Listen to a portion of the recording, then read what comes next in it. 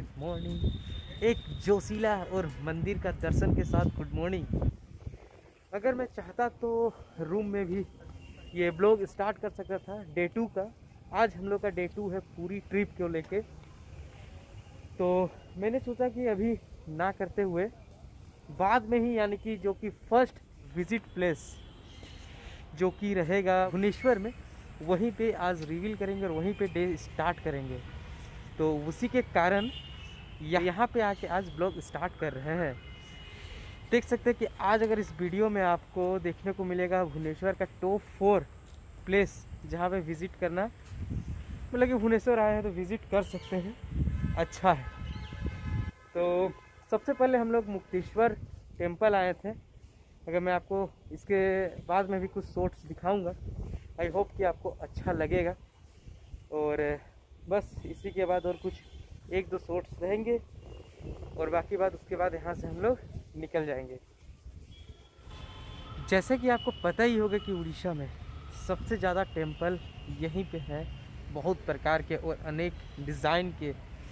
तो इसीलिए आज डे डे का जो स्टार्टिंग है, मंदिर को लेकर किए हैं। तो ये है हमारा पहला स्टॉपेज महाकालेश्वर टेंपल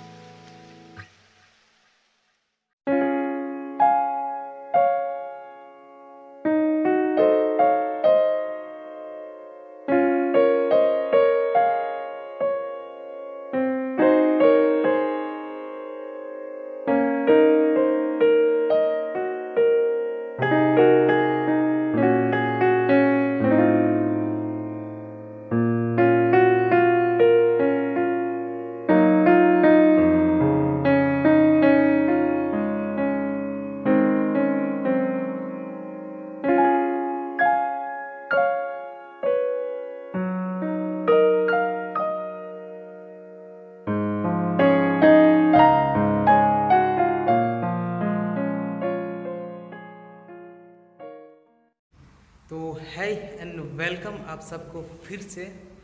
हमारा जैसे कि स्टॉपेज मैंने बताया था कि आपको चार रहेगा, उसमें से ये दो है। स्टेट म्यूज़ियम इन उड़ीसा यानी कि बोल सकते हैं भुवनेश्वर में जो म्यूज़ियम है, वहीं पे आए हुए हैं। आगे बाहर तरफ़ तो बहुत ही अच्छा था, अब अंदर आए हैं और यहाँ पे देख सकते हैं बैठने का बहुत ज़्यादा सुविधा है। और पीछे हमारा गार्डन है, यहाँ पे स्विमिंग स्विमिंग पूल है, फिर गार्डनिंग चल रहा है पीछे। अच्छा लग रहा है मतलब कि म्यूज़ियम जितना भी इसका हिस्ट्री है उड़ीसा का भुवनेश्वर का ये यहाँ पे सारा चीज़ अ, सारा चीज़ के बारे में बताया गया है। बस यही कुछ म्यूज़ियम था और ये इसका शॉर्ट्स बहुत सारा लिए हुए हैं तो ये आपको ज़रूर दिखाएँगे। फ़िलहाल के लिए हम लोग अभी घूम रहे हैं और यहाँ पे अब देख सकते हैं पीछे चेयर है पूरा बैठने के लिए और यहाँ पे इजीली आके चिल कर सकते हैं बैठ के कुछ देर। घूम घूम के अगर थक जाए तो यहाँ पे इजीली आकर आप बैठ के आराम कर सकते तो ये हमारा सेकेंड स्टॉपेज था जस्ट फॉर इंफॉर्मेशन ये स्टेट म्यूज़ियम है, भुवनेश्वर का।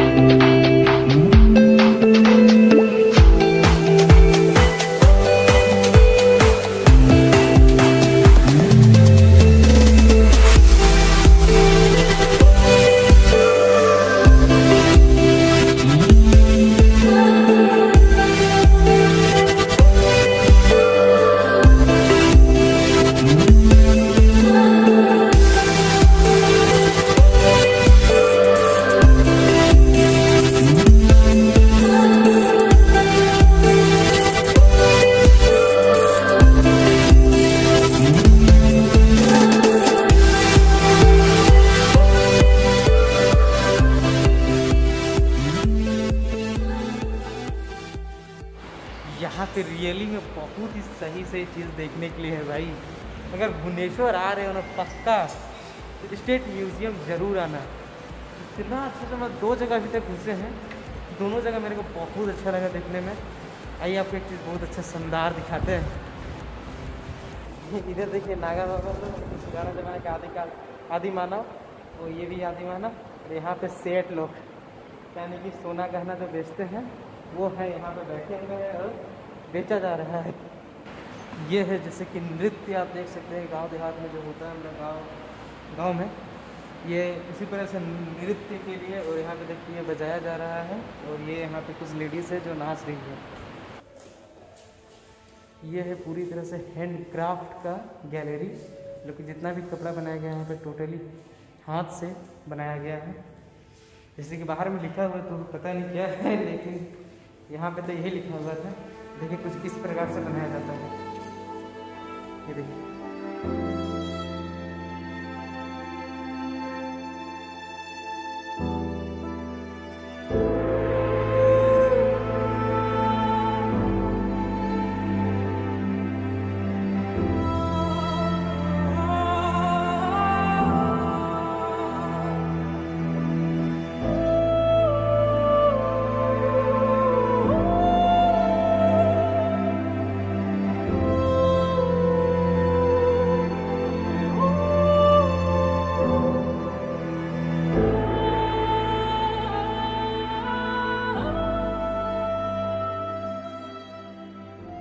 ये है नेक्स्ट हेरिटेजेस, यानी कि किस प्रकार से राजा रहते थे, ये देखिए राजा का इस प्रकार से, और ये है पुराने ज़माने के ताला में किसी में कुछ बस, बक्सा, इसको बोल सकते हैं अभी के समय में, वो बक्सा, और यहाँ पे बहुत सारी मूर्तियाँ, और ये पूरी गैलरी, और इस प्रकार से देखिए यहाँ पे है रथ छोटा सा रथ है, रथ के ऊपर है पानी के जहाज़ और फिर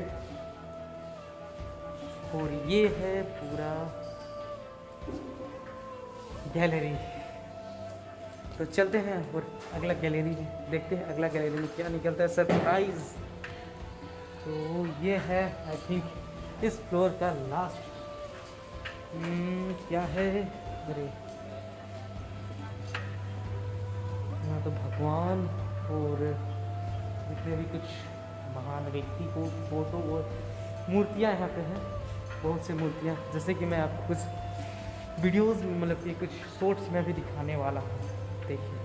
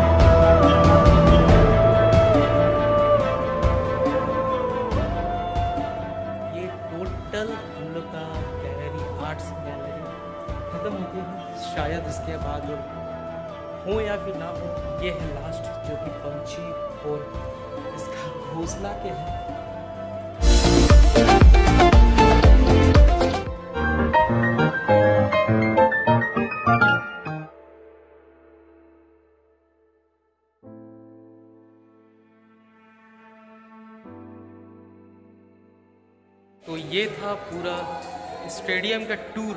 आई होप कि आपको अच्छा लगे।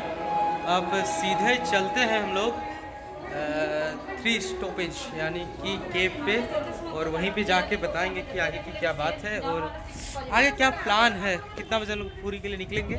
तो स्टे ट्यून और आई होप कि आपको अच्छा लगा हो ये म्यूज़ियम का। बहुत ही शॉर्ट्स लिए आई होप कि सबको डाल पाएँ, क्योंकि समय तो एक लिमिटेड ही बनाने से अच्छा लगता है ना तो ज़्यादा समय को ध्यान रखते हुए तो यहीं पे ख़त्म करते हैं स्टेडियम का टूर और निकलते हैं अब नेक्स्ट नेक्स्ट द्वार पे और।